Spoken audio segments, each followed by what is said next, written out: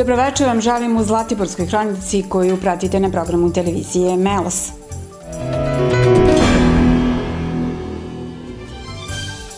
Dodalom stanova rešeno je stambeno pitanje izbjegličkih porodica na teritoriji opštine Čajetina. U okviru podprojekta regionalnog stambenog programa kojim u Srbiji kao vodeća institucija rukovodi Komisarijat za izbjeglice i migracije, danas su svečan uručeni ključevi 12 stanova za izbjeglice Bosne i Hercegovine i Hrvatske koji imaju prebivalište na teritoriji opštine Čajetina. Predstavnicima 12 porodica izbeglih i raseljenih lica sa porovištem na teritoriji opštine Čajetina uručeni su ključevi od stanova. Novoformirana stambena zgrada u ulici Očka Gora 1 biće novo boravište za porodice koje su pre skoro tri decenije napustile domove u Bosni i Hercegovini i Hrvatskoj, a sve do sada su uglavnom stanovale u kolektivnim centrima. Po dolasku u Srbiju najprije smo boravili u kolektivnim centrima, pa smo posle prešli u iznajmljeni smještaj. Nastanili smo se ovde u Čajetini, na Zlatiboru, među dobrim ljudima koji su nas lijepo prihvatili.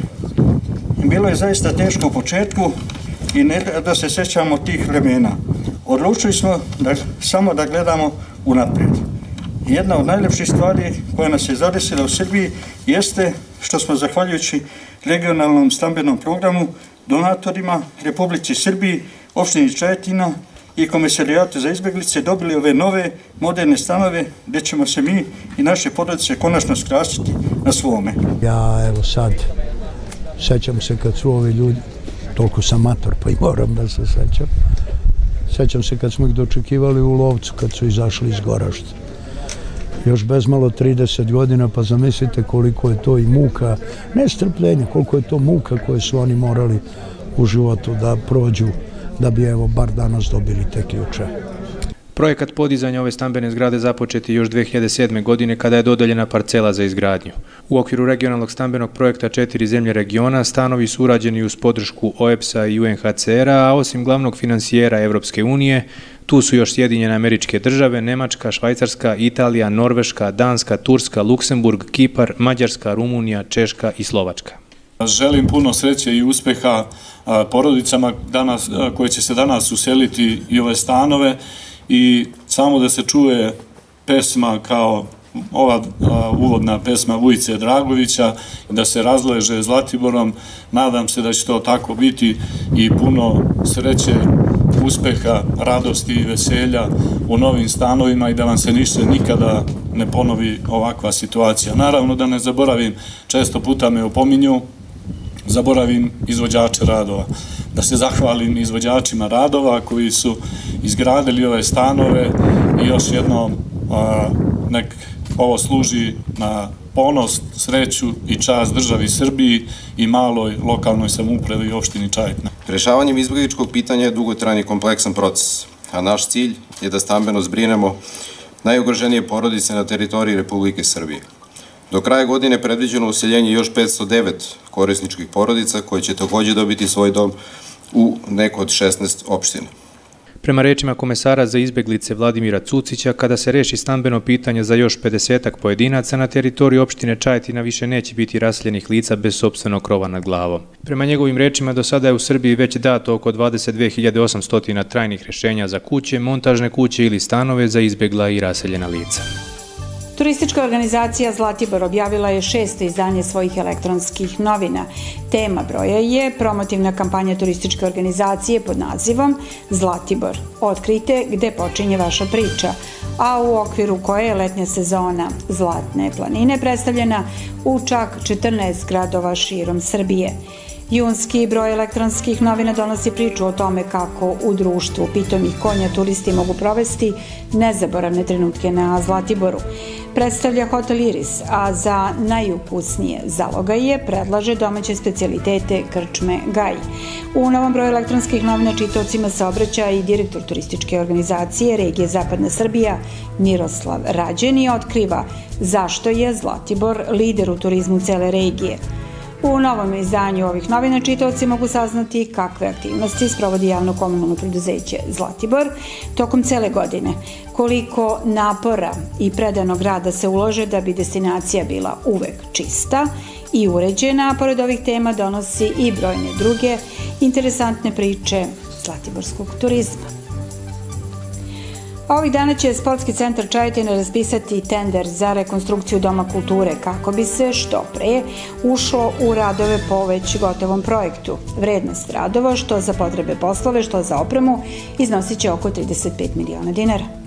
Sportski centar Čajetina nastavlja da podiže kvalitet svojih usluga za građane ove opštine.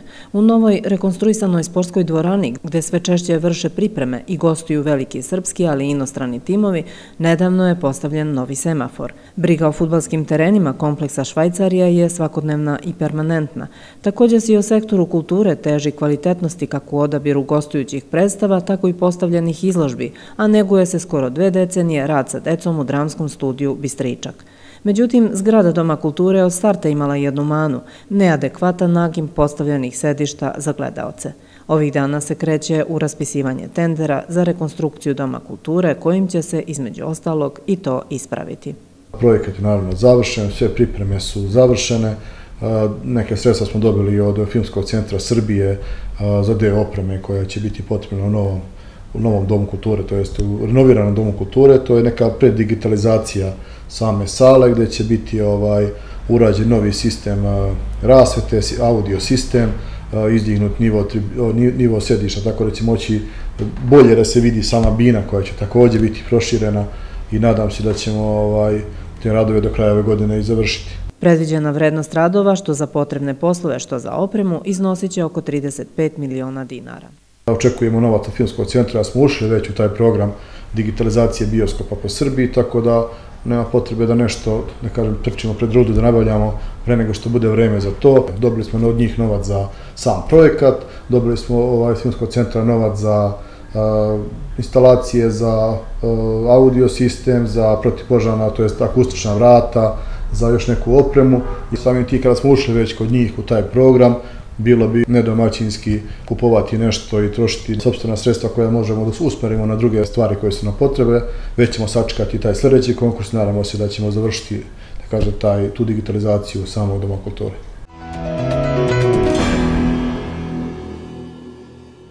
Želite dinamičan posao, volite praktičan rad, želite da putujete, usavršavate strane jezike. Mogućnost daljeg školovanja i usavršavanja, posao u vrhunskim hotelima, onda je ugostiteljsko-turistička škola u Čajtini pravi izbor za vas. U narodnoj školskoj godini upisujemo obrazovne profile kuvar, konobar, kulinarski tehničar, komercijalista i turističko-hotelijerski tehničar. Za više informacija pogledajte našu internet prezentaciju i upišite u gostiteljsko-turističku školu u Čajetini. Vidimo se u septembru!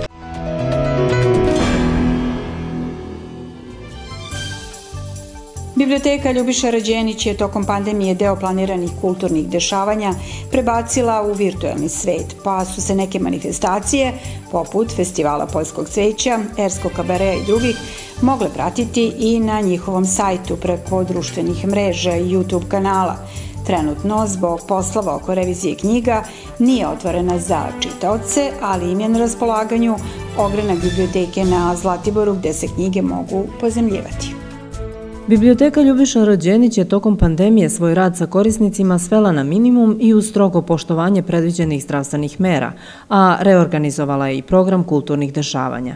Ipak nije izgubila kontinuitet u održavanju manifestacija, već ih je prebacila u virtualni svet, napominje direktorka biblioteke Snežana Đenić. Prva manifestacija koju smo održali online bila je mm, naš tradicionalni festival Poljskog cveća, kojim se naša biblioteka uključuje u realizaciju projekta Hortikulturne biblioteke Srbije. E, učesnici na ovom skupu bili su članovi mreže iz Srbije, Republike Srpske, Bosne i Hercegovine, Hrvatske i Makedonije.